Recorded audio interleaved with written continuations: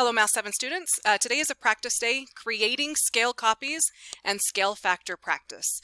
So I'm just going to go over just a couple of problems and then the rest of this lesson is going to be practice for you. Uh, the first one I'm going to go over is number one. We have this grid and I want you to draw a scaled copy of this polygon using a scale factor of 2.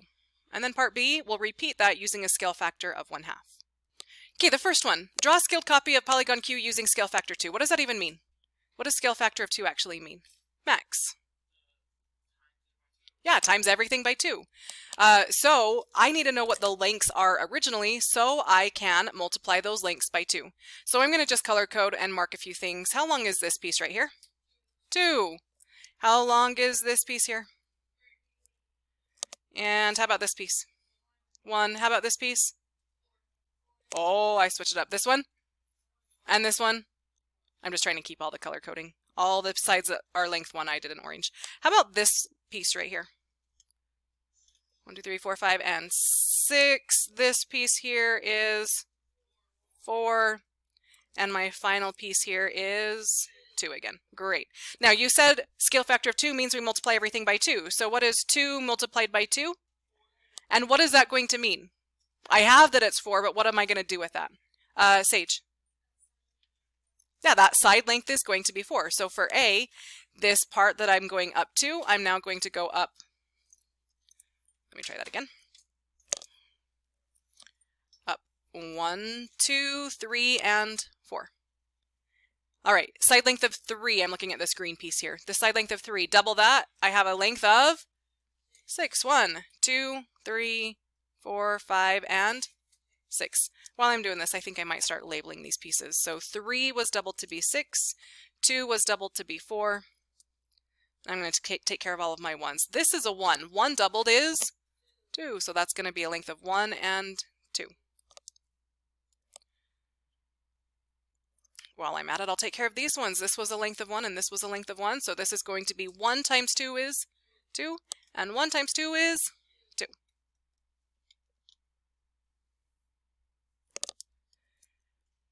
nearly done now. And again, I'm just marking these as I go so that I can see that these parts down here correspond to these parts up here, color coding to show that. Now this is a length of six. Six doubled is going to be 12. That's going to be a lot, right? All right, so one, two, three, four, five, six, seven, eight, nine, ten, 11, and 12. Probably worth double checking just to make sure I didn't miscount because I don't want the whole thing to be messed up because I miscounted. So 1, 2, 3, 4, 5, 6, 7, 8, 9, 10, 11, and 12. Fantastic. And now I have that side length of 2 again. 2 doubled is 4. So I'm going to draw down 1, 2, 3, and 4. And the last piece, 4 doubled. Now I should just be able to connect these pieces, but let's double check to make sure it's going to be the right length. 4 doubled is 8. 1, 2, 3, 4, 5, 6, 7, and 8. Perfect. Now, pretty easy. It's only slightly more challenging on the next one. Remember that you have your calculators as a tool, so you can always use your calculator whenever you need to know what the lengths are. If on the first one, the scale factor was 2, and that means I multiplied all the lengths by 2, and now I'm saying the scale factor is 1 half, what am I going to be multiplying all of the lengths by? 1 half. So calculators are going to help us here. Some of it can be mental math, but for those who don't know that mental math, you can use your calculator to help you out. Here's my original, is 2. So if I want to draw this, 2 times 1 half is equal to 1. So this new piece is going to have a length of 1. And now it gets to be fun. Because 3 multiplied by 1 half, calculators if you need it. What is 3 multiplied by 1 half? 1 and a half, exactly. So how long am I supposed to draw that piece? 1 and a half. So it's not going to end here, even though that's the where the grid lines meet. I have to go an extra half. Which that was not done very straight and it's going to make me crazy, so I'm going to fix that. One and a half. So although it's not going to be nice and neat on grid lines, it still is completely and totally possible.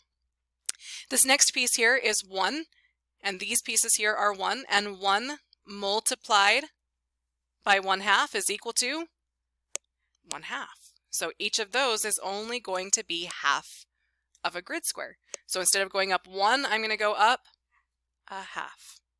And here, instead of going over 1, now I'm going to go over a half. And instead of going up 1, I'm going to go up a half. So the challenging part on this is really just trying to make it as precise as possible, even though they don't end up on those grid lines. 6, half of 6, so again I'm just multiplying all pieces by half, so 6 times 1 half is equal to, calculators if you need it, we know that that's just the same as dividing by 2, so that's 3. 6 times 1 half is 3, so I'm going to go over, let's just count. 1, 2, and 3. So since I started in the middle, that means I end in the middle for 1, end in the middle again for 2, and end in the middle again for 3. I already know that 2 times 1 half is 1, so now I'm going to go down 1, and once again, I started in the middle, so if I wanted to go one full unit, I'm going to have to end up in the middle again. and 4 multiplied by 1 half is equal to 2. So over half to half and half to half, and there we go. So challenging only because we're kind of in the middle of the boxes instead of on the grid lines, but it still is that scaled copy that's half the size. All right, let's take a look at number two. The next type of problem you're going to see in this uh, in this lesson is finding out what the scale factors are. So you have a question? Okay, what's your question, Bridger?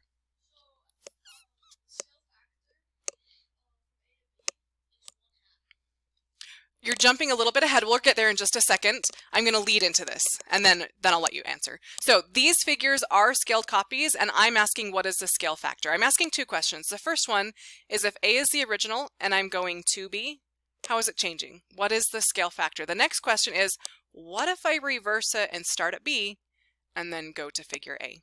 So Bridger, you've already made the claim that it's one half. Can you tell me how you how you got that?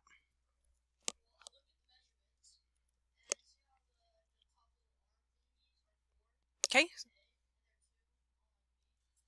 So that has a length of 4 and this has a length of 2.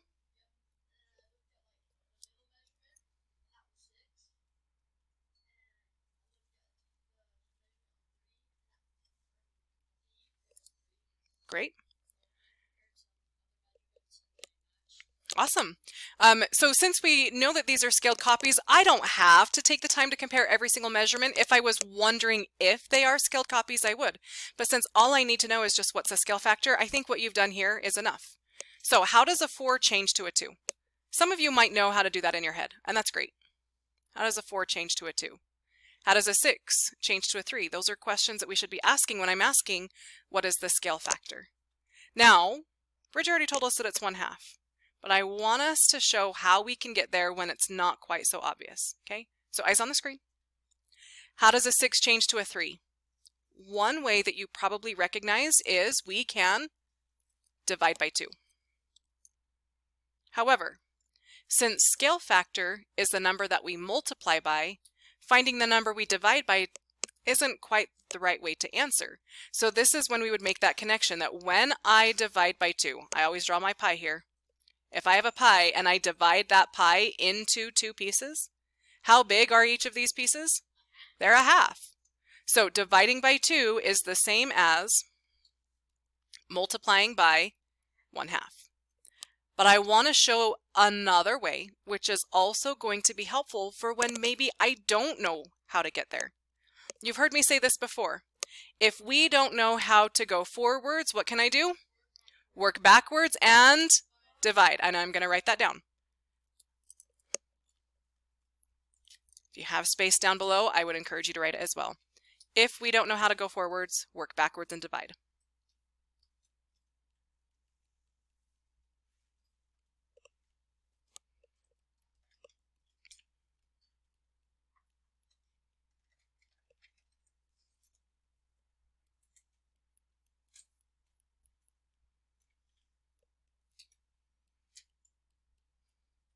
So if I don't know how to go forwards with multiplication, I'm going to work backwards and divide. And since I'm working backwards, that means I would start at 3.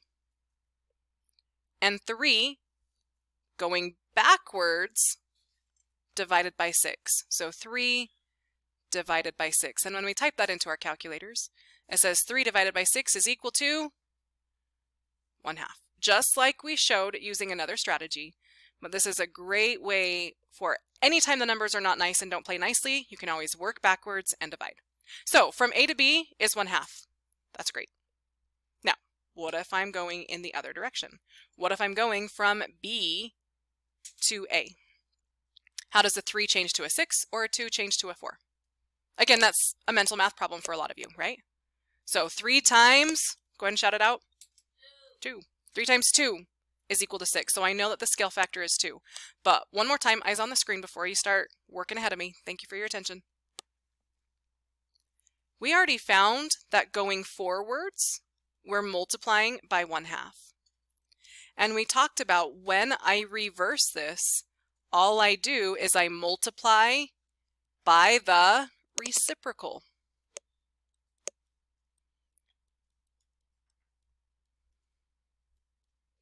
Reciprocal is that big fancy word for flip the fraction. So if going forwards, I multiply by 1 half, then going backwards, I would multiply by 2 over 1, or simply 2. So those are some strategies that are going to help you as you work on the rest of this packet. And the rest of this packet is just going to be practice, so there's only going to be one other problem done on this video. We'll go over in a second, but I want you to try the packet on your own for practice first. Pause the recording as you finish up the packet. The only one that I really wanted to go over is this one here, number three. So let's make sure that we've all done it correctly. Here is the unlabeled polygon along with its scale copies A, B, C, and D. We need to find the scale factor for each one. Now, again, these are already scaled copies. I know that they're scaled copies, so that allows me to focus on just one piece. Like this length right here is a length of 2. If I wanted to focus on others, then I certainly can. I would maybe focus on the whole entire width of the figure, which is 3. And paying attention to those uh, links as we go through these problems is going to be helpful. The scale factor to create A. So how is this going to here? Here's the length of 1. How does a 2 change to a 1? We already asked that question on the previous problem, so hopefully that one comes pretty quickly. How does a 2 change to a 1? Dean, how does a 2 change to a 1? We multiply by 1 half. We've already, we've already seen that. Uh, how about on the next one going from this unlabeled figure to figure B. That has a length of 4. How does a 2 change to a 4? Aaron? Multiply by 2. So that's a scale factor of 2. Now it does get to be a little bit more challenging. C has a length of 3. How does a 2 change to a 3? Sage? What is it? Did you say 1 half? Not quite. One and a half is right. Multiply by one and a half. And that may have been challenging, so let's talk about how can we find out if we don't know? We've talked about some strategies. If I don't know how to go forwards, I can work backwards. And as I work backwards, I am going to divide. So I'm going to start at 3 because that's the end of the problem. And I am dividing by 2. And I can type that into my calculator. You can do that now if you didn't do it before. 3 divided by 2 in my calculator is equal to 3 halves. Now, fractions are friends, so I prefer 3 halves because if I ever asked, what is it if I go in reverse, all I have to do is flip this to its reciprocal. So 1.5 or the fraction 3 halves. Okay, uh, what is the scale factor as I go from the original unlabeled to D? How does a 2 change to a 2? What is that going to be? Bridger. Multiply by 1. 2 times 1 is equal to 2. So the scale factor is 1. Then we keep on going. It's where it gets even more challenging. What if C is the original? And C is scaled all the way down to A. So now my 3 is changing to a 1 my 3 is changing to a 1. This is going to be something similar to what we did over here. Remember how I, I recognize that a 3 can change to a 1 maybe by dividing by 3. So I drew my picture, kind of like I did here. So I'm going to do that now. How does a 3 change to a 1? I know that it can be dividing by 3. So I might draw my pie to show a circle being split evenly into three pieces. We're dividing by 3. And what are these pieces called when I split into 3? Thirds. This is 1 out of 3 or 1 third. I also, if I don't know how to work forwards, I can also work backwards and divide and type in 1 divided by 3. And when you type in 1 divided by 3 into your calculator, guess what it's going to tell you? One third. Uh, what is the scale factor if B is the original and I go all the way down to A? So now I'm asking how does a 4 change to a 1? How does a 4 change to a 1? That's a tough one. I'm going to approach this one differently. What if I worked backwards? Do you know how a 1 can change to a 4? Tucker, how does a 1 change to a 4?